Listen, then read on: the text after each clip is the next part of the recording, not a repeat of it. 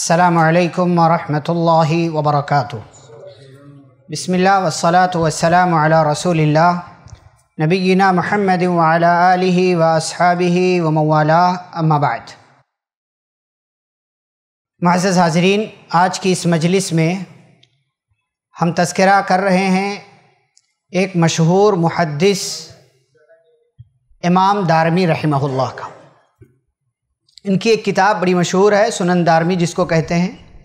जैसे हदीस की और किताबें मशहूर हैं।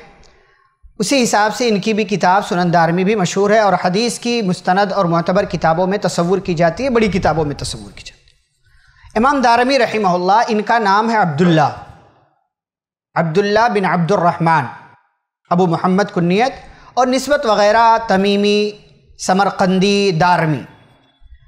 लेकिन नाम के अलावा कुन्नीत के अलावा, ये दारमी के नाम से मशहूर हो गए। इसीलिए इनको आप जो हदीस पढ़ने, पढ़ाने वाले हैं, तलबा इस हैं, इमाम दारमी के नाम से ही जानते हैं और यही नाम इनका अक्सर बेशतर लिखा जाता है और बोला जाता है।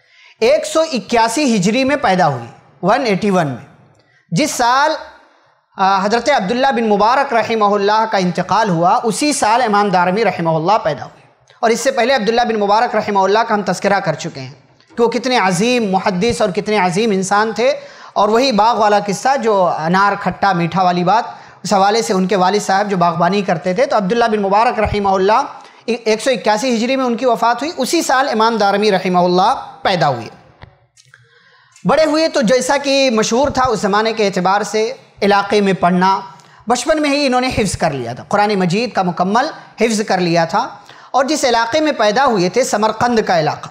समरकंद का इलाका, जिसे आजकल अज़बकिस्तान वगैरह कहते हैं, और वो जो है उसी नाम से मशहूर व मरूफ़ है आजकल। लेकिन उस ज़माने में समरकंद और बुखारा बुखारा के कौन थे? इमाम बुखारी रहमौल इमाम बुखारी रहमौल्ला तो उसी के करीब का इलाका है समरकंद। वहाँ पर इमाम दारमी रहमल्ला पैदा तो उस ज़माने में समरकंद और बुखारा, ये दोनों इल्म का मरकज़ था। बड़े बड़े उलमा वहाँ मौजूद थे। तो इमाम दारमी रहमल्ला ने अपने ही इलाके में इल्म हासिल किया। और जब इल्म हासिल कर लिया, बड़े हुए तो लोगों को इल्म सिखाना शुरू किया, ख़ास तौर से हदीस के इल्म में बड़ी महारत हासिल की। और इसी वजह से आप देखें कि इनके बड़े बड़े मशहूर शागिर्द जो हैं, उनमें से चार को आप बखूबी जानते हैं। इमाम बुखारी रही इमाम मुस्लिम रही इमाम अबू दाऊद रही इमाम तिरमिज़ी रही इमाम बुखारी रहमल्ला ने सही बुखारी में अपने उस्ताद इमाम दारमी रहमल्ला की सनत से कोई हदीस नहीं रिवायत की। लेकिन और दीगर किताबों में अपने उस्ताद इमाम दारमी रहमल्ला की सनत से दीगर और बातों का तस्करा किया। लेकिन इमाम मुस्लिम रहमल्ला ने सही मुस्लिम में इमाम दारमी के हवाले से उनकी सनत के हवाले से अहादीस को दर्ज किया है। ये हैं इमाम दारमी रहमल्ला ख़ुद इतने अजीम हैं और अपने तलबा की स्टूडेंट्स की जो टीम तैयार की, इनमें से अक्सर को आप जानते हैं, इमाम बुखारी रहमल्ला इमाम मुस्लिम रहमल्ला वगैरह। इनके इल्म का आलम यह है कि इमाम अबू हातिम अर्राज़ी रहीम फरमाते हैं कि बुखारी, इमाम बुखारी रहीम जो है, वो इल्म के अतबार से बहुत ज़्यादा मशहूर है। इसीलिए उनको क्या कहा जाता है? सैदुलमहदसिन सैदुलमहदसिन के सरदार अमीरमिन अफ़िल हदीस। हदीस की दुनिया में जो है, मुसलमानों के अमीर है इमाम बुखारी रही तो इल्म के मामले में लोग जो है, इमाम बुखारी रही को याद करते हैं और हिफ्ज़ और ज़ब्त और इतकान के मामले में लोग इमाम दारमी रहमल्ला को याद करते ये है इल्म जो है उनके दिमाग में बैठ जाया करता था। ऐसे ही मोहम्मद बिन बशार जो बुंदार के नाम से मशहूर हैं, वो कहते हैं कि चार लोग चार अलग अलग इलाके में बड़े मशहूर हुए। चार लोग चार अलग अलग इलाके में बड़े मशहूर हुए, बड़ी शोहरत पाई। इमाम अबू ज़ुरा अर्राज़ी रहीमहुल्ला रई में रई नाम का इलाका था। इमाम अबू ज़ुरा अर्राज़ी रहीमहुल्ला वहाँ से मशहूर हुए। नीसापुर से इमाम मुस्लिम रहमोल्ला इसलिए इमाम मुस्लिम रहीमहुल्ला का नाम लेते हुए कहते, इमाम मुस्लिम नीसापुरी। नीसापुरी, और ऐसे ही समरकंद के अंदर इमाम दारमी रहीमहुल्ला और बुखारा के अंदर इमाम बुखारी रहीमहुल्ला ये चार अलग अलग इलाके अपने अंदर, जो इन इलाकों के अंदर पैदा हुए तो इलाके जो है के नाम से गोया कि मशहूर हो गए। यानी बुखारा क्यों मशहूर है? इमाम बुखारी रहमल्ला बुखारा को कौन जानता है? समरकंद, इमाम दारमी रहमल्ला नीसापुर, इमाम मुस्लिम रहमल्ला और रई नाम का जो इलाका है, इमाम अबू ज़ुरा अर्राजी रहमल्ला की वजह से मशहूर है। तो ये हैं इमाम दारमी रही और इल्म की दुनिया में एक बड़ा नाम कमाया।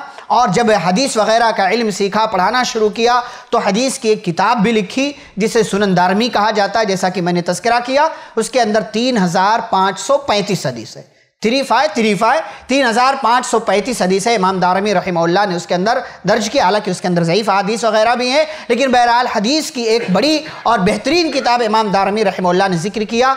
दो सौ पचपन हिजरी में इमाम दारमी रहमल्ला का इंतकाल हुआ। यौम तरविया यानी आठ जिलीजा को, जिस दिन हाजी एहराम बात करके मिना जाते हैं, हज का सफ़र शुरू होता है उनका, आठ जिलीजा को इमाम दारमी रहमल्ला की वफ़ात हुई दो सौ पचपन हिजरी में। और अगले दिन, जो जुमा का दिन था जो जिसे योम अरफा हमारी ज़बान में नौ व वो योम अरफा के दिन इमाम दारमी रहमल्ला की तदफीन अमल में आई। एक बड़े मुहदस एक बड़ा नाम हदीस की दुनिया में, बड़े बड़े लोगों के उस्ताद इमाम दारमी रहीमल्ला ख़ुलास कलाम ये है कि हम और आपको भी इल्म सीखना चाहिए और इल्म सीखने के बाद लोगों को सिखाना चाहिए। कितने ऐसे लोग हैं, इल्म सीखा हुआ लेकिन बैठे हुए हैं, ना घर में पढ़ाते हैं, ना बाहर पढ़ाते हैं, ना ही किसी और तरीके से अपने इल्म को फैलाने का कोई ज़रिया और सबक तलाश कर रहे हैं। तो हम और आपको इल्म सीखना चाहिए। जैसे भी, जहाँ से भी हम और आपको इल्म मिले, जो मुस्तंद लोग हैं, बेहतरीन लोग हैं उलमा उलमा से हमें इल्म सीखना चाहिए और आम जबान में जहाँ भी आपकी, जहाँ तक आपकी पहुँच है, अपने घर के अंदर आपकी पहुँच है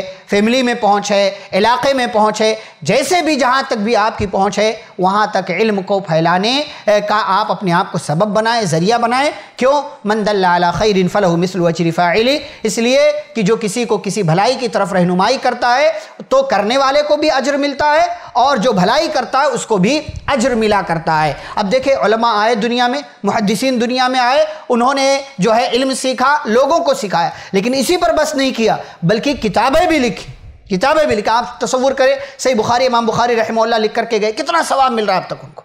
कितना सवाब। अब तक उनके जो है नाम अमाल में कितनी नेकियाँ लिखी जा चुकी इमाम दारमी रहमल्ला जिनका तस्करा आज हमने किया, सुनन दारमी नामी किताब लिखी उलमा ने फ़ायदा उठाया मुहदसिन ने फ़ायदा उठाया, आज तक उठा रहे हैं और क़यामत तक इन उठाते रहेंगे तो उससे उनको नेकियाँ मिलती रहेंगी और उनके अजर सवाब में इजाफा होता रहेगा। हम अगर ख़ुद आलिम नहीं हैं, अगर हमने खुद नहीं सीखा है तो किसी को हम सिखाने का ज़रिया और सबब बन जाएँ। किसी की रहनुमाई कर दें, किसी आलिम की तरफ़, किसी बच्चे की किफ़ालत का इंतज़ाम कर लें। आप जो है किसी आलिम ने कोई किताब लिखी, उसकी नशर इशात में आप जो है हाथ बटा दें कि वो किताब छप जाए ताकि लोग उससे फ़ायदा उठाएँ। लिखने वाले को भी सवाब, पढ़ने वाले को भी सवाब और आपने माल खर्च किया तो आपको भी सवाब मिलता रहेगा।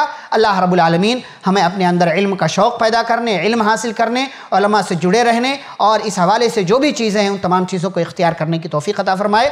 आमीन। वसल्ला नबी करीम। वसलम वरहमल वर्क ऐसे ही फ़ायदेमंद इस्लामिक वीडियोस देखने और मनहज सलफ़ पर किताब व सुन्नत की तालीमत को आम करने में हमारा ताउन करें, ताकि आपके लिए ज़रिया नजात, जन्नत के हसूल का सबब, साथ ही माल में बरकत व इजाफे का ज़रिया भी बने। आमीन। जजाकल्लाह खैरन।